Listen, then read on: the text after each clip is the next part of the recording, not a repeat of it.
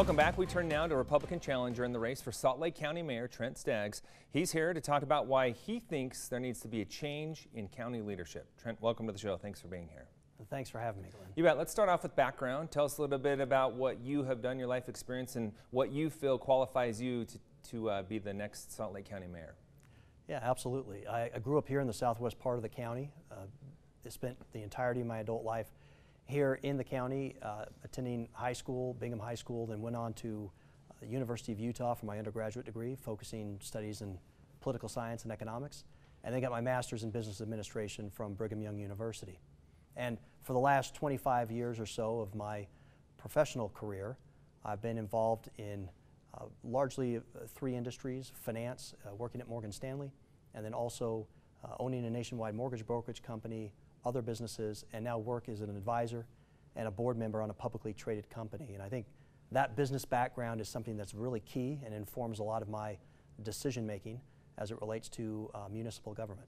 And you've been serving as the mayor of Riverton the last two years. Why do you want to take the step to Salt Lake County? Yeah, I got involved in politics about seven years ago. I served four years or a term on the city council in Riverton and then was elected mayor in 2017. And really, it was my interaction as mayor with the county that uh, led me to see many issues with the county. We have now, as a city, we've left three county led uh, organizations or services, and at every turn, we've actually ended up saving our residents millions of dollars, uh, improve the level of service, and also improve the accountability and transparency. So, one of those would be uh, unified police. What are the others? That's right. There was a taxing district for uh, the county uh, that was the means to pay for Unified Police Department. By exiting that, uh, our residents now save about $1.3 million a year in property tax. And the Unified Police System, led by the county, we self provided as of a year ago, July.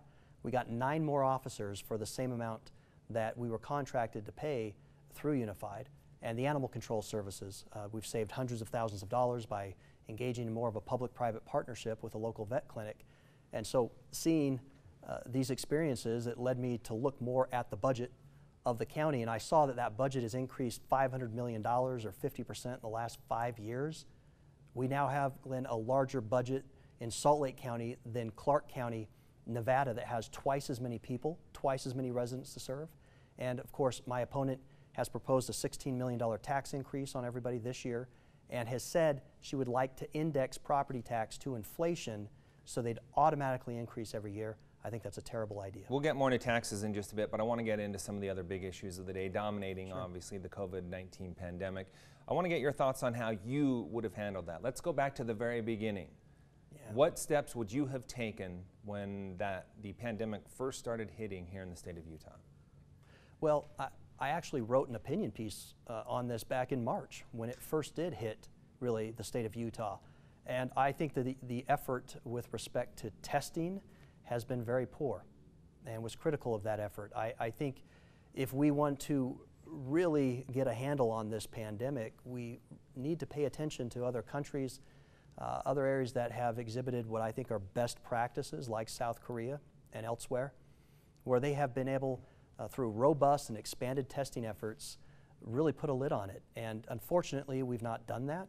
I think we have a great life science and bio community here that uh, has really inexpensive testing uh, that, that we could have implemented for both symptomatic, asymptomatic people, and would have used my leadership effort at the county to do that. Uh, use CARES Act funding much more quickly and efficiently than what's been used. Would you have enacted a shutdown? No, um, I Why think, not? I think that we can protect both lives and livelihoods. I don't think they're mutually exclusive.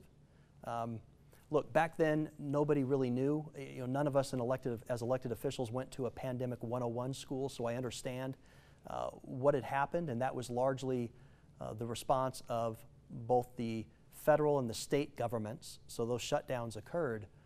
Uh, but I, I think I was a proponent of moving quickly to reopen the economy in a safe way um, through using best practices that we have here today. My opponent was actually uh, championing keeping the economy shut down, she said, through at least May 30th and possibly the 4th of July. So you would have never gone with an economic shutdown in the very beginning. Is that correct? Well, the, the economic shutdown was really imposed by uh, the federal and state, uh, state agencies. I, I think the county, what they could do more effectively is the, to focus our efforts on testing the resources that we've received But from in the Salt Lake government. County, they did take it further than what we saw in other counties. Yeah, I, I think the, uh, the efforts to stay in certain statuses um, for longer than me, what may have been needed. Uh, you saw that the, the county really opened back up in May, and I think that was largely in part due from pressures by the governor and residents. Mm-hmm. Do you stand by a mask mandate? Would you enact that? Hey, look, I think masks are great. Um, I think that they really do protect the public health and can get the economy going again. They're a common sense measure. Uh, I think, however, even if 100% of individuals uh, complied and used masks, we're still unfortunately going to see case counts rise and people uh, be affected. We're seeing that right now. So yes or no, mask mandate? We're, we're seeing that right now with a mask mandate. What I want to do, Glenn, is put my focus on testing. I think masks are great, but the analogy I've used is like wearing rain boots in a home that's taking on water. We need to go after the source, and that source is really uh, those that are carrying. Okay, so you think people should wear masks, but you would not infor- you would not impose a mandate. Yeah, Is that I- what I'm hearing? I, I would have worked much more collaboratively, I think, with city mayors and um, other key influencers to ensure that we put out the importance of wearing masks. Okay, we need to I- get on to another very important topic real quick. Quick, that is Olympia Hills. Sure. I think that's what I saw kind of catapult you into this race. You took a very uh, strong stance against that. Talk about why. Yeah. Well, I, I- there's just poor plan. It's a it's it's a poor planned project, poorly planned. I, you have 900 acres approximately. They wanted to put about 10,000 housing units up against Butterfield Canyon. It's effectively uh, putting that much density at the end of a cul-de-sac, and uh, I think I- I'm, I'm for smart development, but we need to have infrastructure that is there. and Let's talk a little bit more about that. What is high density an answer though to the crisis we're facing with housing? You and I both have children who may not be able to afford to live here down the road.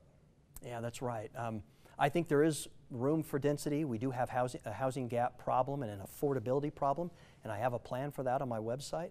And I think to a large extent we should be focused in areas that are along major transportation and transit corridors for that density, not out at the furthest most edges of the county that's only going to exacerbate congestion, uh, air pollution, you name it. I Is there anywhere in the county that you see as a suitable location for a project like Olympia Hills?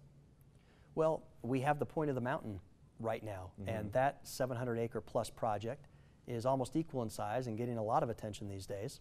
It's close to major transportation transit corridors, and so the county mayor has a seat at the Point of the Mountain Commission and also the Inland Port. You've got projects like that. There's a lot of other county property, however, that uh, is along major transportation and transit corridors that I think is underutilized, and we haven't done an audit yet. We need to do that and see if we can't work with private development to improve the housing stock that we have and, and make a dent in the affordability. Okay, we have about a minute left. Uh, talk to me about some of the endorsements you're getting. Well, it's been really great the number of endorsements that we've been able to receive. Um, having served on a city council and as a mayor now, I reached out to almost every elected official in the county. I made an effort, and we have received scores of endorsements uh, from mayors, from city council members, from the business community. I think we have about seven city mayors and scores of city council members all throughout the valley, and uh, to receive endorsements from uh, other great officials statewide, uh, such as Senator Romney and others, is, I think, it really speaks to the campaign and, and the Okay. need people see for reform at the county. You mentioned people can learn more at your website. Uh, give us that website. Yeah, that is trentstaggs.com. If you go there, you can see all of our issues, and we've laid out a plan for each one of those with a short video. Okay, thanks for your time, and we'll see how this unfolds. Mail in ballots going out this week. Appreciate your time.